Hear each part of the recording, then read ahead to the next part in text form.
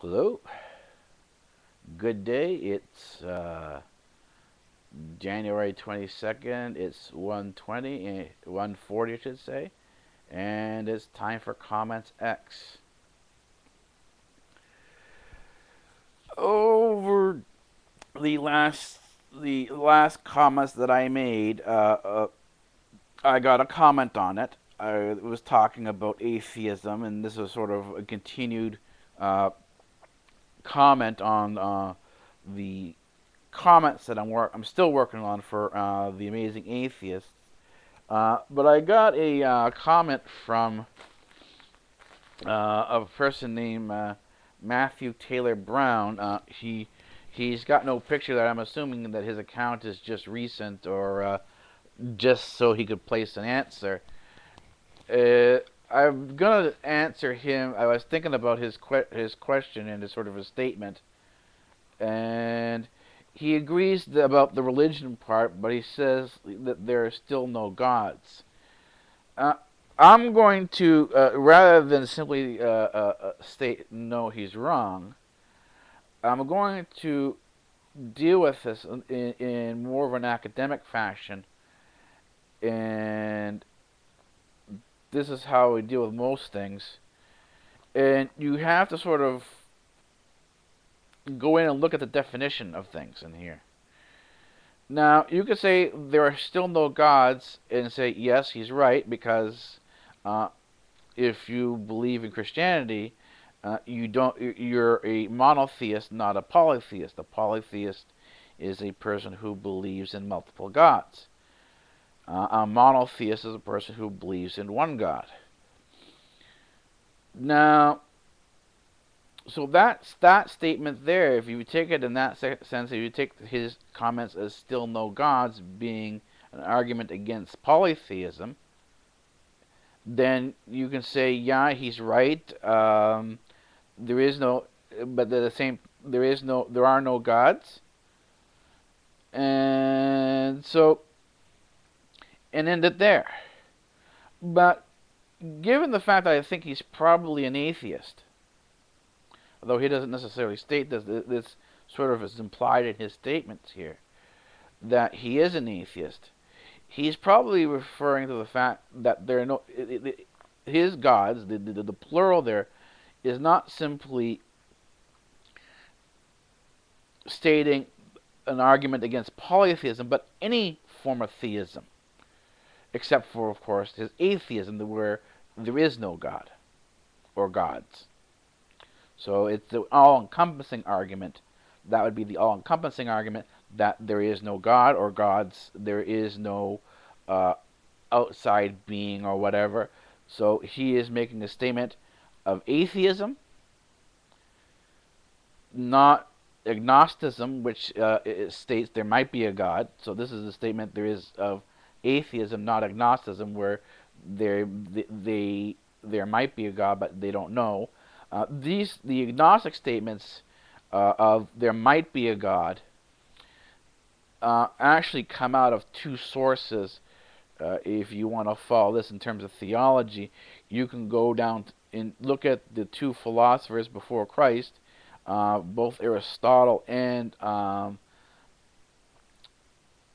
and uh, Buddha, both of whom were Eastern philosophers. There was at the time there was no West. There was no Western philosophy at the time of both Buddha and uh, Aristotle. Everything was East. Uh, Aristotle uh, was the person who accompanied uh,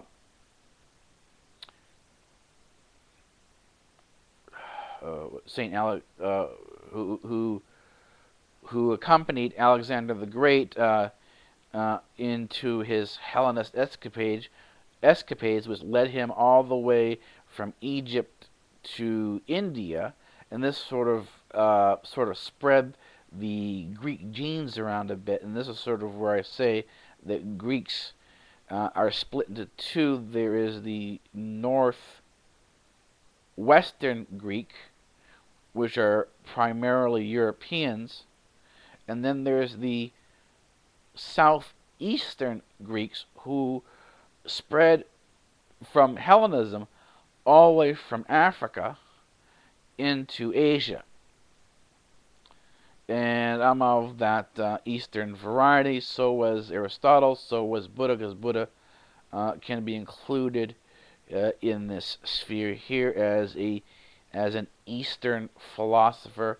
Um, although he Buddha himself is known more specifically as an Eastern philosopher, Aristotle in many ways is said, oh, he's the Western philosopher, but he's not a Western philosopher. He's an Eastern philosopher. He did accompany um, Aristotle did accompany Alexander the Great to India. Uh, so that would establish him uh, because of the geograph the the geography of of his sort of his his his intellectual domain was primarily Africa to Asia. It wasn't uh, in the West because the West at this time didn't exist. So uh, the way I'm going to to uh, uh, deal with this uh, no God statements is not from the uh, mono the monotheistic view that he's arguing against polytheism. I'm taking the the all-encompassing atheistic statement.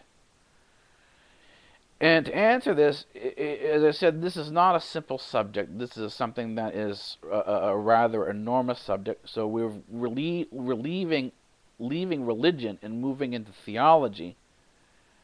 And theology itself uh, is a parallel to philosophy, uh, which includes, uh, instead of a PhD, includes a THD, a theological degree, uh, a theological doctorate degree.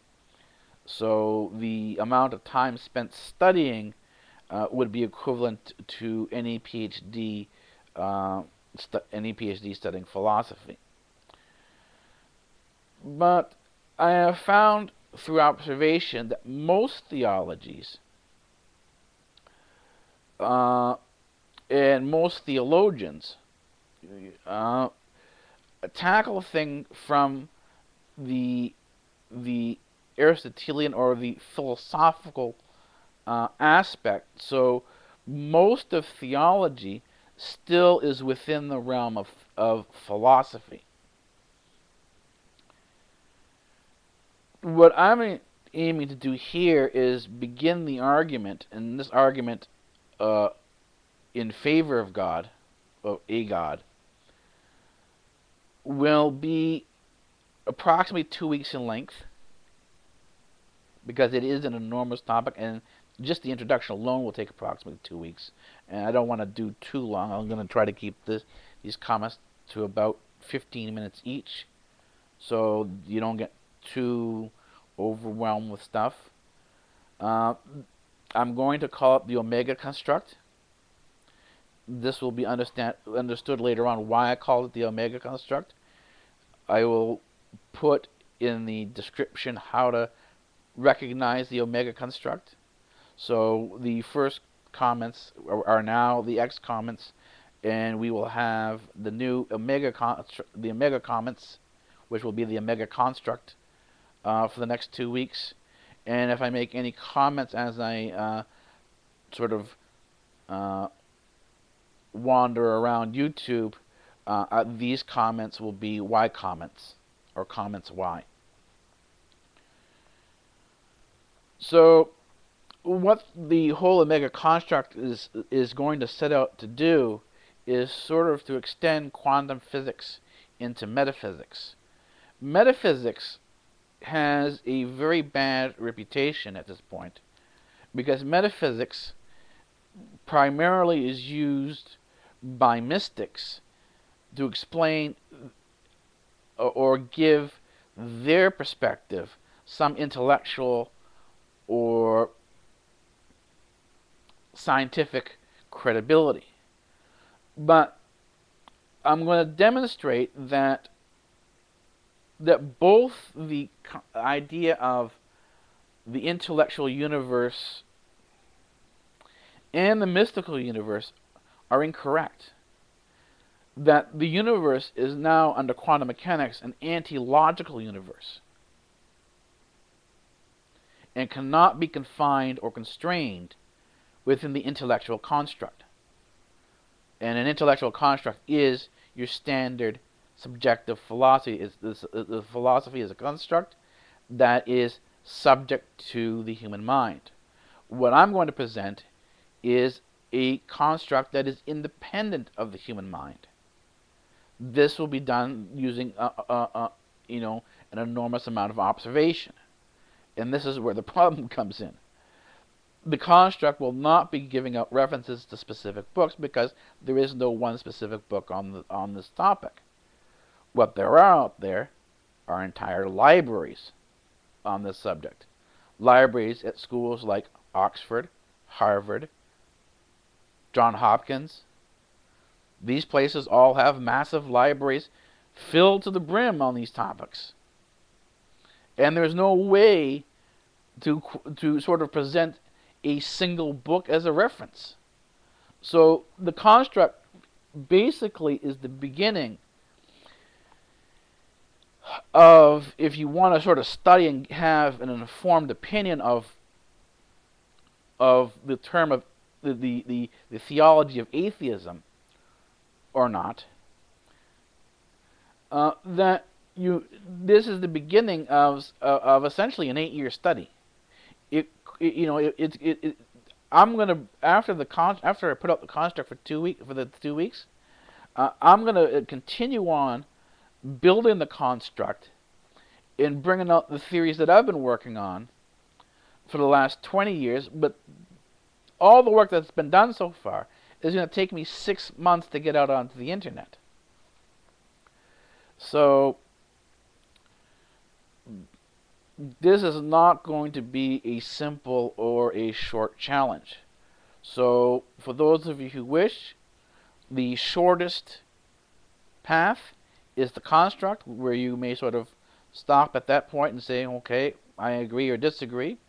But if you want the more informed choice, the informed choice is to step off the curb and dive into uh, the uh, the construct, the the the the, the, sort of the depths of the study of the studying of the the and it's essentially uh, mostly library science. It's it's spending a large chunk of your time in the library. So this will be the path I will take. I will take. I'm going to thank uh, Matthew Taylor Brown for his comments. Uh, at this point, I'll segue over to the more mundane uh, that I'm still watching uh, primarily uh, NerdzRL as a reference for Big Bang Theory RL. It's NerdzRL that I sort of got the idea that hey, I can do something like this. Uh, so I am watching uh, NerdzRL to see what they do to get maybe if I can do some of the things they're doing, and, or oh, just generally to get some some ideas as to uh, how to improve what I'm doing. So it's not necessarily that I'm copying them. It's just that I, I want to see uh, what I'm doing right and what I'm doing wrong uh, in, in, by comparing what I'm doing with uh, what they're doing. Now there isn't a, whole group of people here, so it's just going to be me. I don't go out a lot of pla to a lot of places because I spend a large chunk of my time in my library, in my lab. So a lot of what you'll see as I start to put together some video montages uh, will be primarily within th this uh, uh, within my uh, uh, labs and library. So this is it for the comments for today. Uh, I'm going to try to get the first Omega comment out today. I am also going to attempt to do a Y comment as well, the, the, the comments why to sort of, as I've uh, sort of drift around the internet, put out a couple comments like that. So we'll we'll see what happens throughout the day. Anyways, that's about it. I'll see you a little bit later on.